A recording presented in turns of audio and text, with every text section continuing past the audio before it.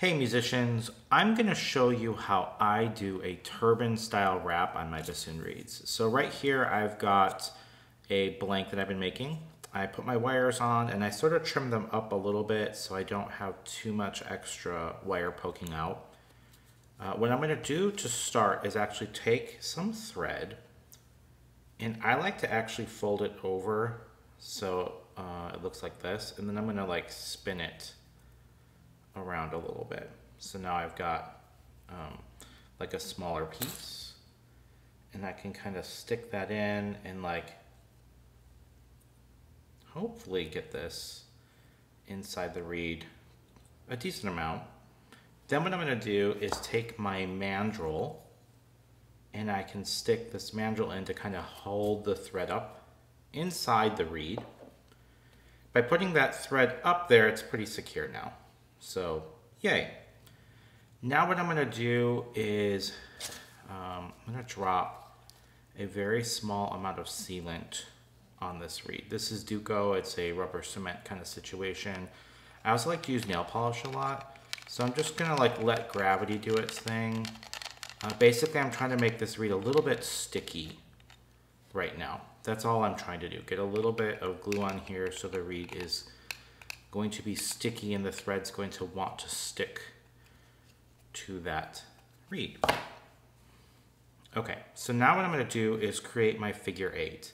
So I'm gonna kind of go up this way, up and around the top, come back down, and go around this way. So it looks sort of like a racetrack from Mario Kart. So again, we'll do this again. I like to go to the left side here, up to the right, around, make my figure eight, and go around the bottom part. Now at this point, I can start actually wrapping my turban. So I'm gonna go above and I'm gonna kind of like go down at an angle and go below. And then I'm gonna follow this thread. And the second time, I'm gonna give a little space and just do the same thing. So I go down, and I kind of follow it and then a little bit afterwards I go up. And then I kind of follow the top go a little extra follow down below go a little extra and continue this process. Now I'm not the prettiest turban wrapper. Um, it takes a little bit of time and honestly I'm lazy and I go too fast. Um, you'll find that maybe you like the aesthetics of a bigger or a smaller angle. Like my angles are really lazy right now. Uh, if I wanted it to look pretty, I'd probably, I don't know, try to keep them more consistent. Like on the way down, they're pretty sloppy. So we'll try to fix that. And I'm just gonna continue doing this process for a couple of minutes. At this point, I'm not pulling that hard but I am making sure that this is, you know, not loose. Because I need this to, to kind of do its job, which is to hold the reed together a little bit. So I will fast forward to save you a little bit of time.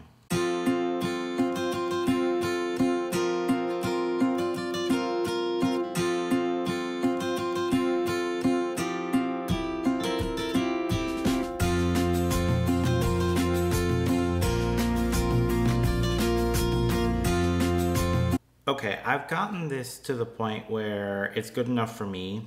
Um, I've got enough of a turban here I can grab onto. It's not super chunky, so it will fit in my reed case pretty nice as well. Um, what I'm gonna do is take a bit more of my Duco. And again, I'm just gonna sort of let gravity do its thing. Come on, little blobby, yay. That's it. I just want this to be sticky. I'm not really trying to seal this reed or anything special.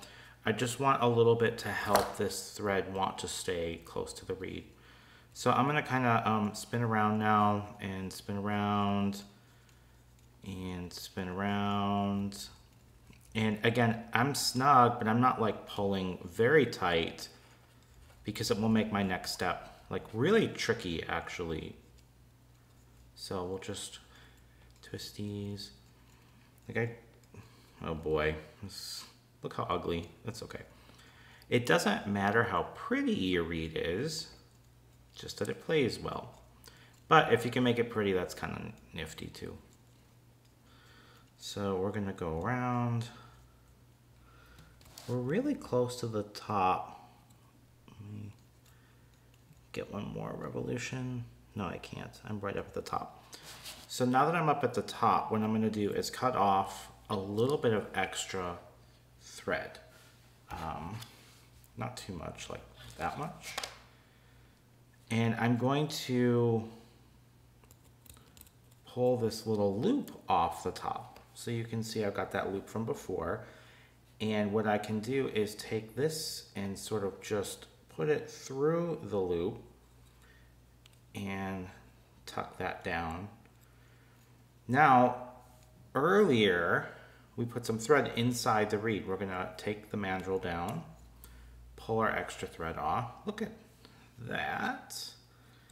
And if I pull on this thread here, watch what happens up here with the loop. So I'm gonna pull down. Oh, and then we were able to tuck that under the thread. So again, I gave it a nice little snug pull. And we have what looks like a messy on this side, but prettier on this side turban situation going on. So I can now remove the extra thread I don't need. And down here, I just sort of give it like a little uh, cut as well. Remove those.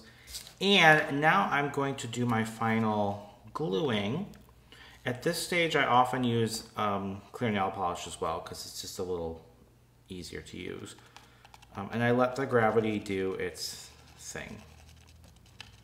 Um, I really don't like getting this all over my fingers because it feels pretty gross. And then when I'm practicing clarinet or oboe or bassoon later, when I make this reed, I can feel all that glue on my fingers and it's like very uncomfortable. So I'm just sort of like using the top part, the nose, I suppose, of the glue to kind of smash it all in. And when I think that there's enough on here for now, I'll go ahead and close this dude up. And then I'm gonna remove this dude to go dry with its friends. And that is wrapping a turban.